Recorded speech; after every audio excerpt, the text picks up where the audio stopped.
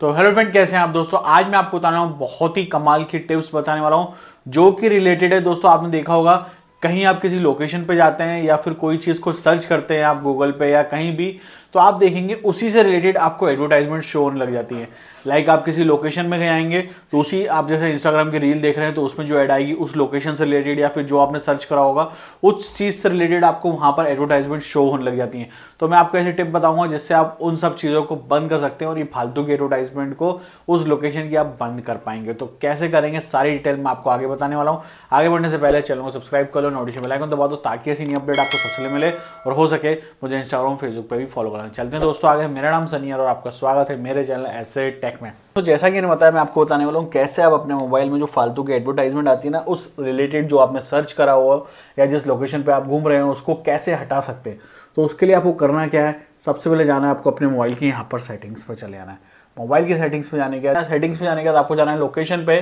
Location में जाने के बाद आपको जाना है यहाँ पर ऐप लोकेशन पे। एंड देन आपको देखेगा लोकेशन की कौन कौन एक्सेस कर रहा है। तो आप देख रहे हो कि सबसे ज़्यादा आपकी गूगल एक्सेस करती है और गूगल के थ्रू ही एडवर्टाइजमेंट ये सब चीज़ें आती है।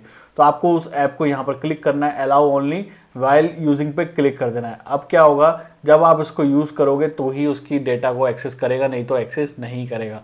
तो आपको सबसे पहले इसको ऐसा कर लेना है देन उसके बाद बैक आना है। बैक आने के बाद बैक आना है। यहाँ पर जाना है आपको गूगल्स में।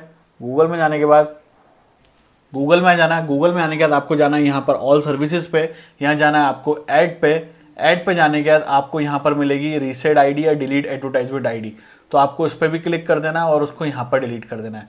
तो ये भी फालतू की जो आपके पास एडवर्टाइजमेंट आती है ना ठीक है, ये यहाँ पर आपकी मैक्सिमम सेव हो जाएँगी। तो आपको इन दोनों चीज़ों को यहाँ पर कर लेना है और उसके बाद आप यूज़ करेंगे तो डेफिनेटली आपको वहाँ पर डिफरेंट लगेगा। तो इन सेटिंग को आपको करने से काफ़ी हद तक आपके एडवर्टाइजमेंट से आपको वहाँ पर प्रॉब्लम रिजोल्व मिलेगा। तो थैंक यू सो मच दोस्तों मुझे उम्मीद है कि आपको मेरी वीडियो पसंद आई होगी। अगर आपको मेरी वीडियो पसंद है तो प्लीज़ लाइक ज़रूर करें। अगर आपको लगता है कुछ कमी है मेरी वीडियो में तो मैं डिसलाइक कर सकते हैं। या फिर अगर आप मुझसे कुछ पूछना चाहते हैं इस रिलेटेड या कुछ भी, आप डायरेक्टली कमेंट करके पूछ सकते हैं, या फिर डायरेक्टली इंस्टाग्राम फेसबुक पर डीएम करके भी पूछ सकते हैं। सबसे ज़रूरी चीज़, अगर अभी तक आपने मेरे चैनल सब्सक्राइब नहीं किया तो प्लीज़ यार चैनल को सब्सक्राइब कर लो नोटिफिकेशन बेल आइकन दबा दो, ताकि ऐसी नई अपडेट आपको सबसे मिले और हो सके। मुझे इंस्टाग्राम फेसबुक पर भी फॉलो कर लेना। Thank you so much